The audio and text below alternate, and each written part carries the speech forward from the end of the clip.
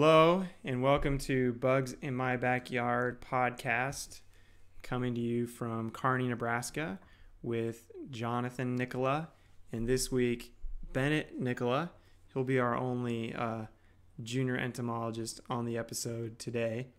Uh, this week, we're going to talk about uh, another insect. Uh, we're going to hopefully do the podcast a little better this week, doing things a little differently, and also adding a cool feature at the end where we're going to talk about Pokemon insects. And Bennett's gonna we're gonna have a Pokemon insect of the week. Um, and we're also gonna try to do this in less than 10 minutes. So let's just kick it off, Bennett. What is our insect of the week? A ladybug. A ladybug. Ladybug. Cute and cuddly? No. No. Well, that's our that's our question that we're going to answer as we tell you more about ladybugs. But let's first of all, Bennett, let's talk about where ladybugs get their name. Do you have any idea where they get their name? Are they is it cuz they're all ladies? No. Are they all girls? No. No. Where do you think they get their name? Uh. You want me to answer it for you? Yeah. Okay.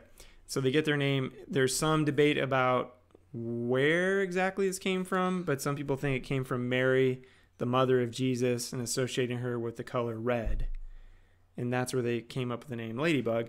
Um, another question Is a ladybug a bug? Yeah. Okay.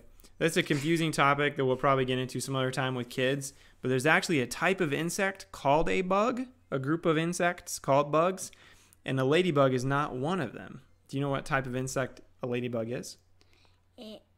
Wait. What? What type of insect is a ladybug? An insect. I know, but what kind? Is it a, what does it look like? A beetle? Yeah. It's Okay. a beetle. This is another gift from my coworker, the ladybugs. So this is a ladybug is a type of beetle, and it is an insect because it's an arthropod, and it has jointed legs. It has six of them, as you can see here on this little uh, little one, and it has three body parts: the head, the thorax, and the abdomen. And underneath this outer, the outer wing is under some wings underneath that let it fly. Mhm. So we're going to talk about ladybugs. And uh, actually, you know what, Bennett? Some people call them, most scientists call them lady beetles. They don't like to use the word ladybug since it's not a real bug, but that's what most people call them. And people in England call them ladybird beetles. Oh. Yeah, but we don't really. That's not a term we use around here. But um, so here's the question, you know, or or the thought in in everyday life. Like I've noticed your mom, my wife, had a shirt on yesterday with little tiny ladybugs on it. Um, I we have a, a daycare in town uh, here in Kearney, Nebraska. Right. Uh, yeah, I guess give giving them free advertising. They have little cute ladybugs with hearts on it. You know, everyone loves ladybugs, right? Like, how can you how can you not love ladybugs? See, look at the look how cute they are. Everyone loves their colors. Um, they're stuffed animals. There's all kinds of things, right? That one has a heart on the line. Yeah, it does kind of have that heart on it. Well, what we'll find out is we'll answer that question. Are they really as cute and cuddly as people think? No. Well, yeah, we'll find out why.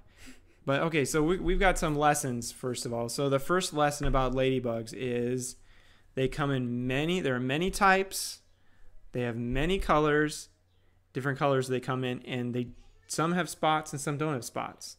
So this prototypical typical ladybug up here, they don't all look like this. Some are black, some are brown, some are yellow, some are orange, some have spots. Actually, none of them look like that. Know that this one has ten spots. Yeah, actually, that's a good point. I'm not sure if any have exactly this this pattern. So so they're all really different.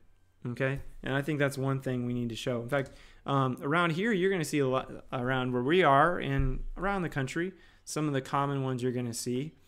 Um, this is a convergent lady beetle. See the the two white bars on its uh, on the. I think that's pron, pron, pronotum. That covers the thorax.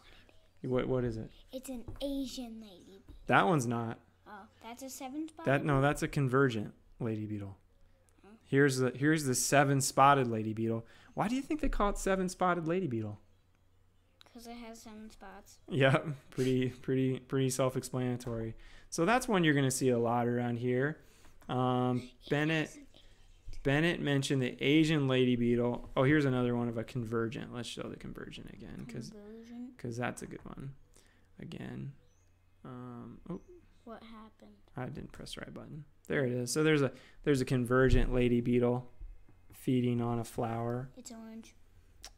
Yep, and that's more of an orangish one. Mhm. And then the one that Bennett mentioned, the one that we see a lot now, that maybe we didn't see a long time ago, are Asian lady beetles. And they're actually an invasive species.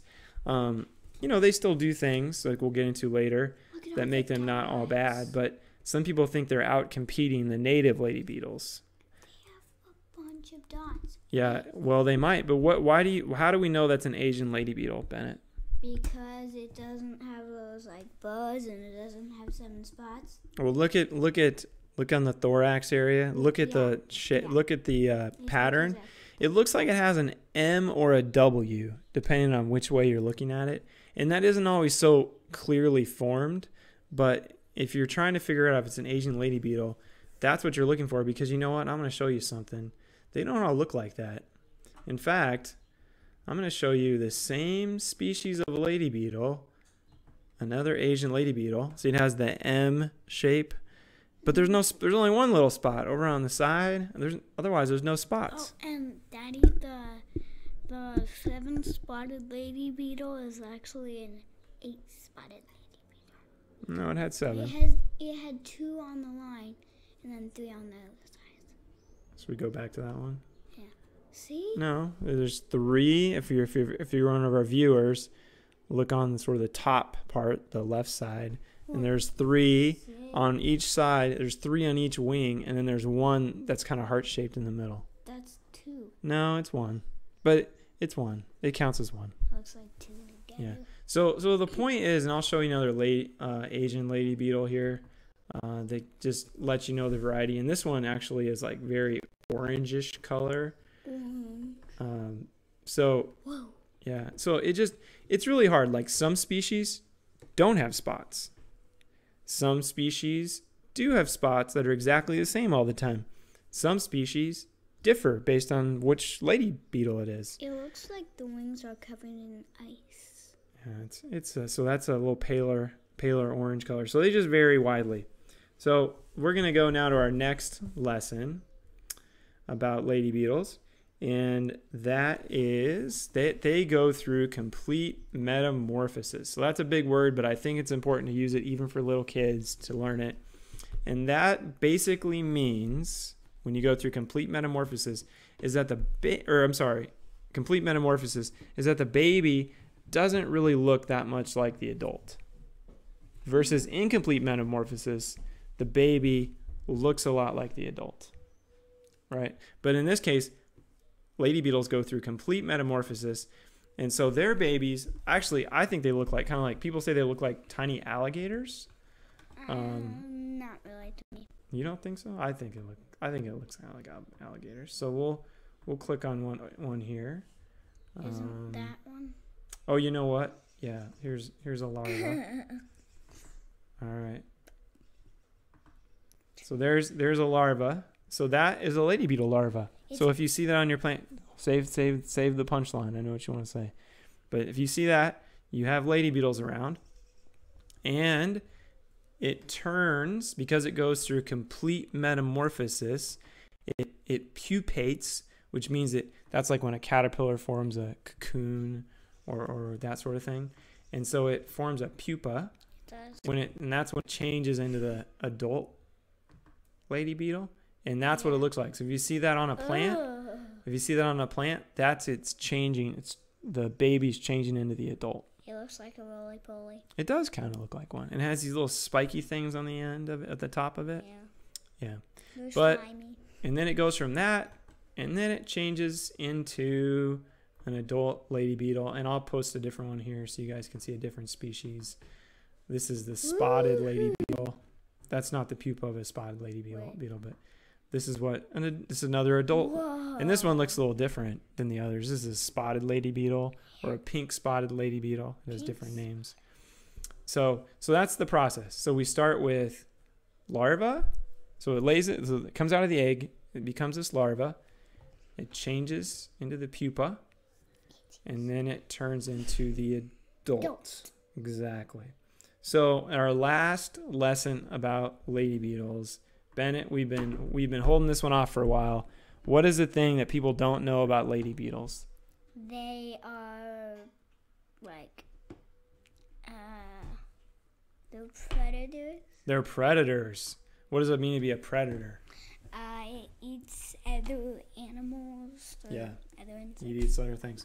So actually, I there's a really funny cartoon that I have um, that I that I got from Un- Unearthed Comics, and you can go online and check them out. Um, this uh, this artist uh, has a lot of different comics, um, and she likes to do nature comics, and so this is uh, hers about lady beetles, and it's a it's a mom and her daughter saying, "I love watching ladybugs. They're so calm and peaceful." And then if you really zoom in and close, lady beetles are not that calm and peaceful. They are just devouring other says- insects. Meanwhile, die aphid scum, save yourselves or run for your lives. Yeah, so so lady beetles are very voracious predators. They eat tons of aphids and mites. Even some eat caterpillars, scale insects. Um, and and some scientists say they do eat other things too. Like they they they know they might eat some pollen and some nectar and things like that. But primarily, they're predators. And of course, they're not going to eat us. You don't have to worry about about these things really. But they are just voracious, aggressive predators. In fact, let's go back to that larva photo. If uh, someone was really observant when they saw us post the larva photo, they would have seen the fact that It's eating an aphid. it is eating an aphid. So look at that. Look at that poor little aphid. Actually, not poor little aphid because it's hurting our milkweed Poor plant. little aphid. And that that yeah, the the larva of the uh, ladybug is chowing down. The um larva and the pupa are not insects. What do you mean they're not insects? Yeah. Because that one has m- way more than three body You know, that's a great point. That's a great point, Bennett. They're still an insect. They base it on what the adult is like. But And also, if you notice, look at even as a larva, they only have six legs. Even a caterpillar. If you looked at a caterpillar, even a caterpillar only has six legs. No, Yeah. because it has a leg on every part. No. Well, you know what? When we do a butterfly episode, we'll talk about that. They have some other things that aren't real legs on them, but but that's a great great topic for the Oh, future. Yeah, they have the. Oh, and we have a special appearance. Um, Elisa is, she likes to hover over our podcast. She got an etch a sketch, and she decided to draw a lady beetle on her etch a sketch. I guess that is a uh, looks like a seven. I don't know eight, but a very um, very creative little drawing by our our homemade artist uh, Elisa May it's actually a. Thank you, Elisa, for your your continued artwork contributions to our episode. So they're predators. And um, what do you think about their color? Why do you think they're red, Bennett? Uh, to blend in. Blend in with green? Does that blend in very much? Why do you think they're red? um, I don't know. Well, what about what about things like monarchs that are really brightly colored? Do other predators want to eat them? Oh no, because they think they're like poisonous. Er, poisonous. Yeah. So then they don't eat them. So I don't know if they're really not tasty or not, but they're signaling to other predators that they don't want to eat them. They're not. So yeah, wait, I don't, I don't know. Have you eaten one? I'm not sure. So anyway, that's that's the basics about about lady- ladybugs. So let's remind folks once again. Lesson one: There are many types, lots, you know, a few different colors. Many some have spots, some don't have spots. Okay. The next thing they go through. They go Let's- through a complete metamorphosis. Yep. So larva, pupa, adult, and the baby looks nothing like the adult. No, none of that. Oh. And then lastly, They are predators. they're predators. Okay. All right. So finally, we'll wrap up here with our insect of the week, uh, or I'm sorry, our um, Pokemon insect of the week.